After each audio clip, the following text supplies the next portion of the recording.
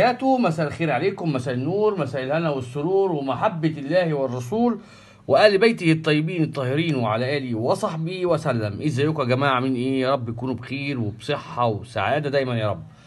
ونخش في الموضوع على طول. آه سبق واتكلمنا عن آلام العظام والروماتيزم وألم المفاصل بالتحديد. واتكلمنا عن سبع زيوت عظام يعني قادرين اللي هم يسكنوا الألام.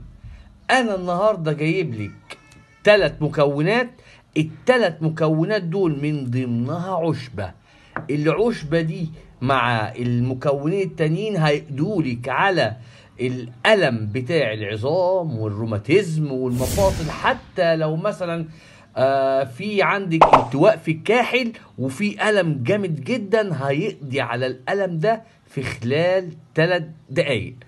وده عن تجربة شخصية. أنا كان عندي هنا هو عبارة عن آه، مزق في الأربطة والصراحة الوصفة دي يعني صديق هندي قالها لي وخدتها وجربتها والحمد لله في خلال ثلاث دقايق ما كانش فيه أي ألم تماما.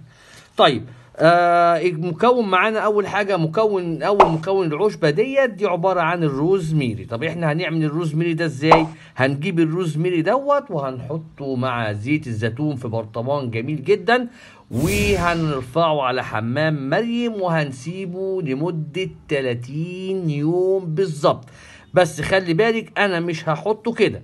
ده لازم يطحن تماما ويبقى ناعم. تمام؟ لازم يبقى يطحن ويبقى ناعم. وهحطه هرفعه على حمام مريم لمدة بالظبط 10 دقايق وبعد كده أخده بقى أحطه في البرطمان وأروح قافل البرطمان جامد وبعيد عن الضوء بعيد عن الشمس في ضلمة لغاية إيه؟ لمدة 30 يوم. طيب وبعد كده هيطلع معاكي زيت روزماري. طيب هنعمل إيه بقى لما نيجي ندهن أو الحاجتين التانيين؟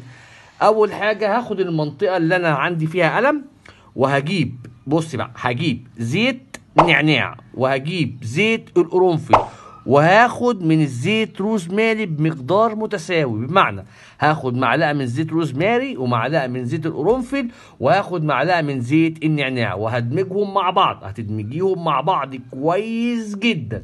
بعد كده حضرتك مكان الالم اللي هو زي ده كده اللي هو كان عندي اهو. أنا كان عندي اللي هو الالتهاب في ال- في الرسخ. اللي هو في في رباط الرسخ اللي هوت آه بدهن بيه كنت بدهن بيه كده هوت بمسحة واحدة في اتجاه واحد عشان بس تكونوا إيه عارفين. مسحة واحدة في اتجاه واحد مع حركة مساج زي كده أهو زي حركة مساج بصباعينك كده. ده طبعا عشان الايد لو عندها مثلا هتعمليه في الركبة هيبقى حركة مساج زي كده زي كده بالظبط بأربع صوابع كده أهو وهنعمل إيه؟ زي حركة المساج كده. تمام؟ وهندهن بيهم وهن يعني مثلا ثلاث مرات في اليوم. ثلاث مرات في اليوم. بصي في كل دهنة انت هتدهنيها يعني بعد ثلاث دقايق بالظبط كده وبالتحديد مش هتلاقي أي ألم. الكلام ده هينفع لوالدك ينفع لوالدتك ينفع لجدك لجدتك أو حتى ليكي. تاخدي الإزازة كده اهوت وتخليها مثلا في مكان الإسعافات عندك. لو حصل أي حاجة هتطلعي منها وتدهني مش مفيش ألم.